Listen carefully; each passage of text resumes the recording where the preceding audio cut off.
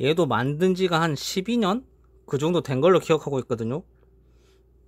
옛날 한참 이제 자작할 때, 막 이제 mix build라든가, 그 다음에 막 이것저것 섞어서 만들 때 그런 재미로 만들던 시절에 Refine Design of Mechanic 프로젝트, RDM 프로젝트라고 스스로 그 계획을 세워서 나는 이런 mechanic 디자인을 하고 싶다라는 그런 열망을 가지고서 만들었던 그 녀석들을 이제 하나씩 하나씩 보여드릴 겁니다. 일단 이 녀석은 로드러너라는 이름을 가진 고속 주행형 3륜 mechanic이거든요. 분해 해체 재정립의 3원칙. 이제 뭐냐면 옛날에 뭐 영화 같은 거 보면 전차경주 기억하시죠? 앞에 막 말들이 달리고 있고 뒤쪽에 이제 전차가 이렇게 해서 그 경주라는 그 그거. 그다음에 formula racing machine, F1 경기용 자동차. 그다음에 이제 자 여기에 이제 달구지. 달구지 이제 우리말로 자동차를 이제 말할 때 이제 보통 자, 뭐 리어카나 이런 걸 이제 그렇게 하죠. 그 이미지를 담아 넣어서 기본의 단계까지 그런 개념들을 해체한 다음에 다시 재정립한 그래서 분해 해체 재정립의 3원칙에 의해서 작업을 한 그런 자작 메카닉 디자인이라고 보시면 됩니다. 굉장히 화려하게 생겼죠. 작업 과정을 이제 보여드릴게요. 부품들 가지고 있는 부품들 이것저것 다 조합했습니다. 뭐 탱크의 부품도 있고 여기 뭐 뭐 휠 같은 거 있고 막 건담 뭐 재간의 부품도 여기다 갖다 붙이고 그다음에 뒤쪽에 보시면 이런 와이어 금속 와이어도 휘어서 이렇게 이제 연결해주고 근데 몸통 같은 부분 이건 레진 부품이거든요. 뭔지 모르겠는데 그때 한참 갖다 붙였고 그 다음에 여기 이제 뉴건담에 이제 뭐 스커트 뭐 이런 부품들 거기다가 뭐 비행기 부품이랑 이것저것 다 조합을 했고요. 몸통 같은 경우도 이런 식으로 이제 작업을 해줬습니다. 이게 이제 사람이 탑승하지 않는 그 뭐라고 해야죠? 인공지능에 의해서 이제 스스로 구동하는 녀석이다. 라는 설정을 가지고서 후륜 뒤쪽 바퀴는 요거 큰 휠 하나, 그다음 앞쪽은 바퀴 두 개, 그래서 3륜으로 구동하는 그런 이제 자작 메카닉이다. 라는 설정을 가지고서 이렇게 만들었습니다. 보이시죠? 이제 세제로 다 일일이. 왜냐면 작업할 때 보면 이 앞에서 아까 보셨잖아요. 먼지 잔뜩 들어가 있는 거.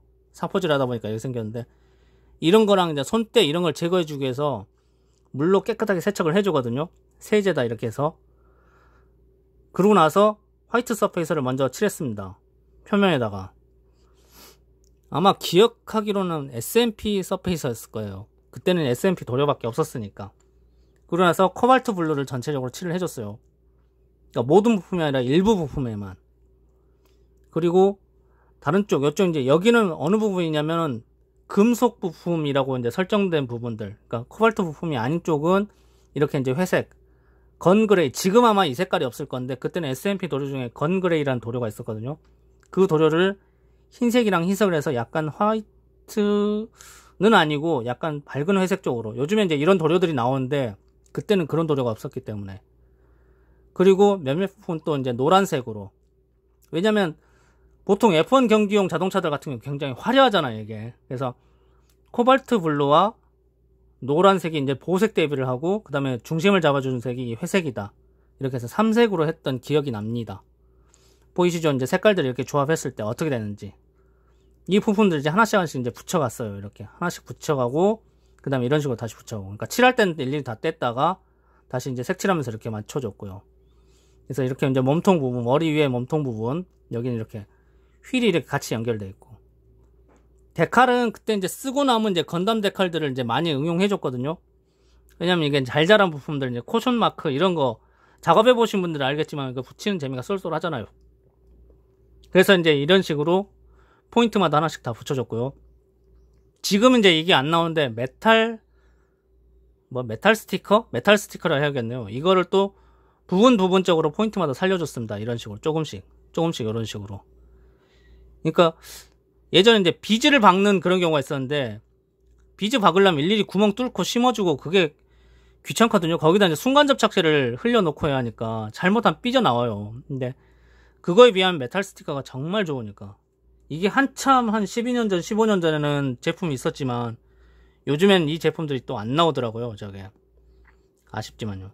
그래서 다시 표면에다가 유광 클리어 울트라 클리어, SMP 울트라 클리어인데 지금은 SMP라는 메이커가 없어졌죠. 요즘 이제 다른 메이커로 바뀐 걸로 알고 있으니까. 이런 식으로 이제 번쩍번쩍하게 전체적으로 같이 코팅을 해줬습니다. 그래야 데칼도 안 떨어지고 메탈 스티커 이런 애들도 같이 안 떨어지니까 이게. 그리고 뭘 했냐? 우레탄 clear. 그때는 이제 모형용 우레탄 clear를 썼는데 SMP에서 우레탄 clear가 꽤 괜찮은 녀석들이 나왔었어요. 그때. 그때 아마 이게 모형용으로 처음 국내에서 제품화 됐던 걸로 기억하는데 뿌려줬으니까 이런 식 보이시죠? 그냥 번들번들한 거. 번쩍번쩍한 거. 장난 아니더라고요, 이게. 이렇게 하고 나서 이제 마하공구의 이 메탈 부품들 원래 이제 건담 전용으로 이렇게 나왔던 이제 메탈 부품들인데요. 그때 처음 막 붙였을 때 굉장히 막 반짝반짝하고 그랬거든요. 지금 보시면 아시겠지만 광 나잖아요, 진짜. 그러니까 차체도 광택이 나면서 얘들도 광이 나고. 그 다음에 이건 타이타닉 배 만들 때 썼던 그 rigging 전용 줄인데 이 줄의 단점은 뭐냐면 올이 잘 풀려요. 그래서 작업할 때 좀 힘들긴 해도 그래도 이제 가장 쉽게 구할 수 있는 녀석이다 보니까. 그래서 와이어가 이렇게 연결된다는 식으로 각각의 이제 이 부분을 다 연결이 된다는 식으로 작업을 해줬습니다. 일일이 붙여가면서. 이거를 이제 여기서 한 두세 바퀴 돌리고 순간 접착제를 먹인 다음에 한 2, 3분 기다렸다가 당기면 붙어 있어요, 이게. 그것도 반대쪽 가서 이렇게 돌려서 붙이고. 이런 식으로 작업을 해줬습니다. 이게 뭐냐면, 그러니까 인공지능 데이터에서 각각의 휠들에게 지령을 내리는 거죠. 그러니까 왼쪽으로 틀어, 오른쪽으로 틀어, 이제 요런 거를 이제 바로, 그러니까 그 지령을 이런 와이어가 이제 수행을 한다라는 그 가장의 생각을 가지고서 이렇게 작업을 했습니다. 그래서 이렇게 완성을 했어요. 이렇게. 앞쪽에 이제 헤드램프처럼 이런 식으로 이제 배치를 또 이렇게 해줬고요. 그래가지고 작업을 이렇게 했는데 처음에 완성했을 때는 굉장히 번들번들하고 멋있었거든요, 이게. 근데 시간이 지나가면서 보여드릴게요.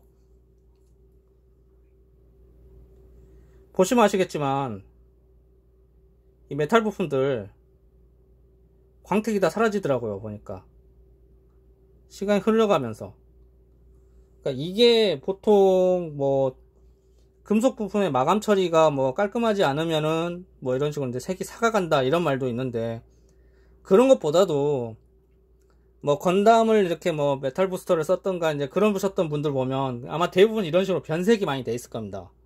그러니까 그건 어떻게 하지 못하나 봐요. 그걸 막 이제 크롬 도금이라든가 이렇게 하지 않는 한은.